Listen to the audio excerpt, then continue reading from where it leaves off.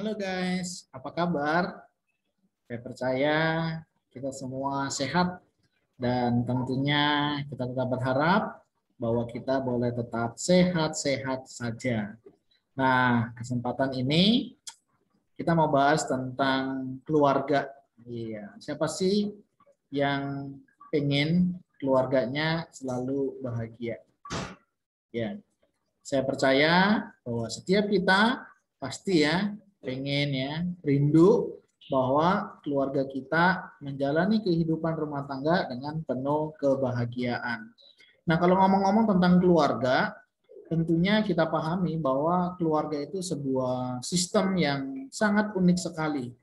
Di mana terdiri tentunya ya, yang umum ada bapak, ada ibu, ada anak. Nah, biasanya begini, kesalahan yang terjadi pada anak itu bisa dipengaruhi oleh karena bapak dan ibunya. Sesuatu yang terjadi pada bapaknya bisa terjadi karena istri dan anaknya. Begitu juga ketika istri bermasalah bisa jadi karena suami dan anaknya. Nah, hari ini kita mau membahas tentang bagaimana sih keluarga itu supaya menjadi keluarga yang bahagia, yang bisa eh, berjalan dengan baik antara suami, istri, dan juga anak. Nah, tentunya ini menjadi perhatian besar buat kita ya. Apalagi kalau kita melihat keluarga zaman sekarang di tengah masa pandemik ya semuanya dikerjakan di rumah, semuanya kita interaksi di rumah. Yang tadinya suami mungkin berangkat kerja pagi ya, pulang sore tinggal istirahat dan menghabiskan malam untuk istirahat. Begitu juga dengan ibu yang tadinya anak-anaknya sekolah, sekarang harus ditemani di rumah. Ya, anak yang biasanya di sekolah sekarang harus ditemani ibunya. Ya, ternyata ini bukan hal yang mudah. Ada banyak hal yang terjadi ketika semuanya tinggal di rumah.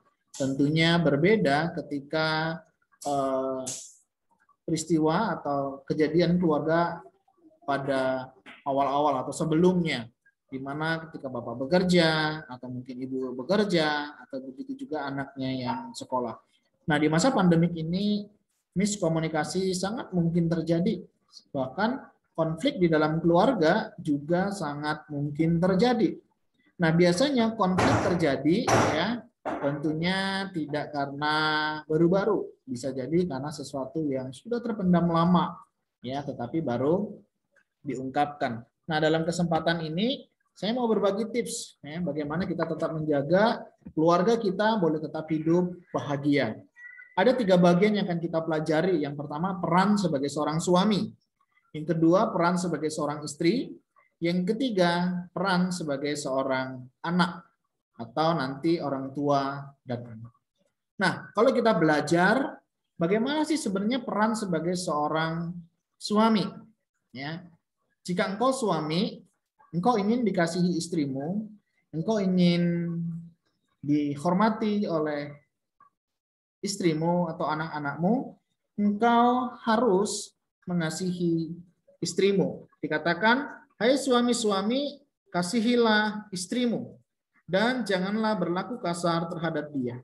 Prinsip yang pertama untuk menjadi suami yang baik buat istri adalah suami harus mengasihi istri.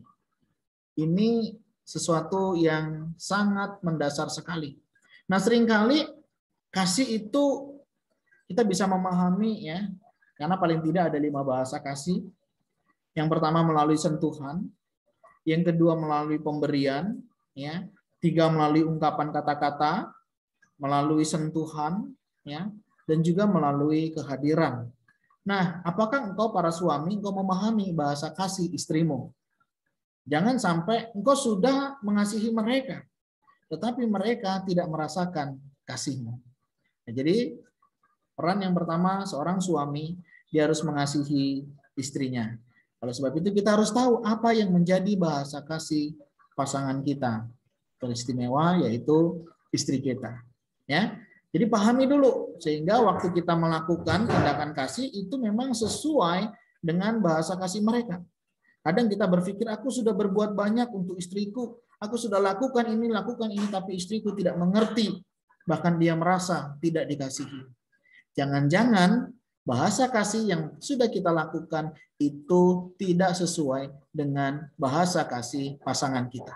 Oleh sebab itu, sebagai seorang suami, kasihlah istrimu.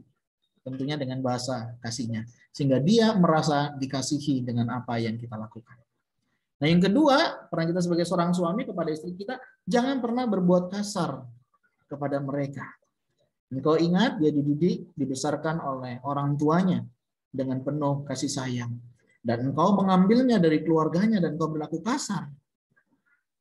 Tega kan engkau? Rela kan engkau ketika anakmu diperlakukan demikian oleh menantumu? Saya yakin percaya setiap kita tidak mengharapkan hal ini. Oleh sebab itu peran sebagai seorang suami jangan pernah berlaku kasar.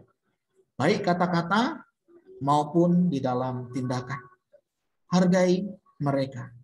Kasihi mereka terima mereka.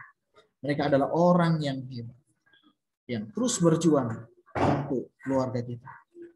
Nah, ini peran seorang suami terhadap istri. Nah, apa peran istri terhadap suami? Supaya engkau dikasihi, engkau tidak diperlakukan kasar. Satu hal yang suami harapkan, dikatakan, hai istri-istri, tunduklah kepada suamimu. Ya, seorang istri ketika engkau ingin dikasih oleh suamimu, engkau harus tunduk kepada suamimu. Kenapa sih kita harus tunduk kepada suami? Karena kita menyadari ya, para istri, bahwa kita mempercayai bahwa suami kita adalah wakil Tuhan di dunia ini. Dia ditempatkan, dia sebagai seorang imam di tengah keluarga, kita harus tunduk. Lakukan tentunya yang sesuai dengan firman Tuhan. Oleh sebab itu penting sekali di sini suami ya memiliki hati yang takut akan Tuhan, hormat akan Tuhan.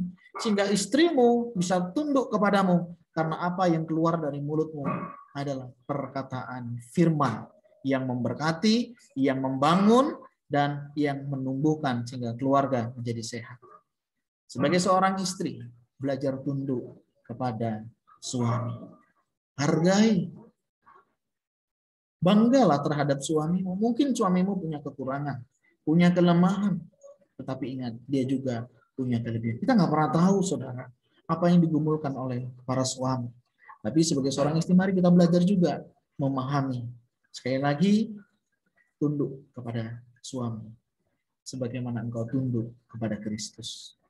Nah ini peran suami dan juga istri.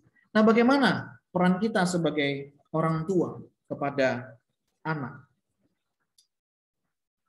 Peran orang tua kepada anak katanya demikian. Hai bapak-bapak, janganlah sakiti hati anakmu supaya jangan tawar hatinya.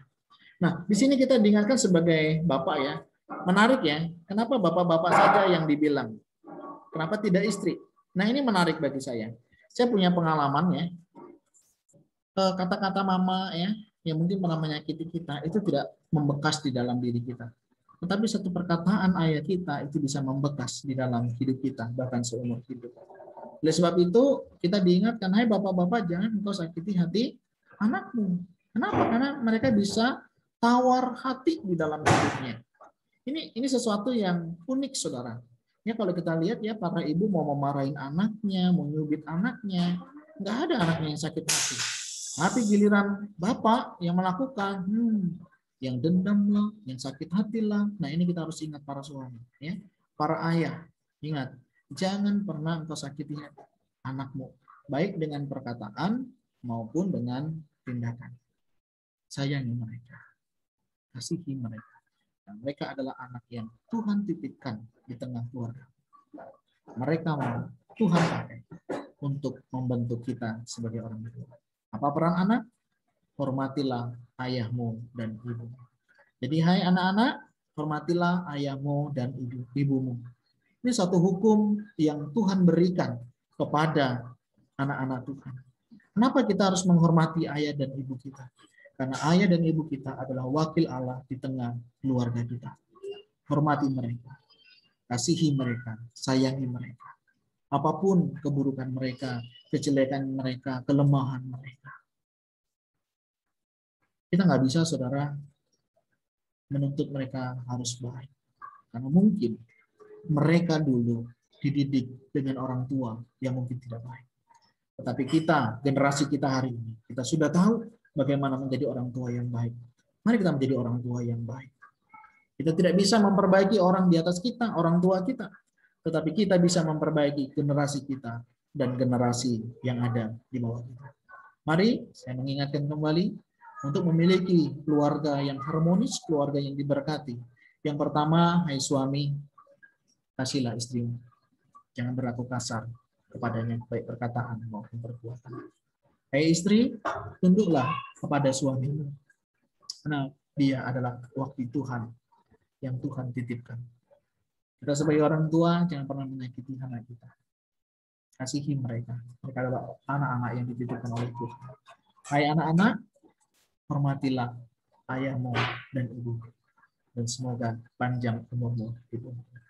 Kiranya tips kebahagiaan keluarga boleh menjadi berkat buat kita hari ini sampai selama-lamanya. Sampai bertemu kembali. Tuhan Yesus memberkati kita semuanya. Shalom.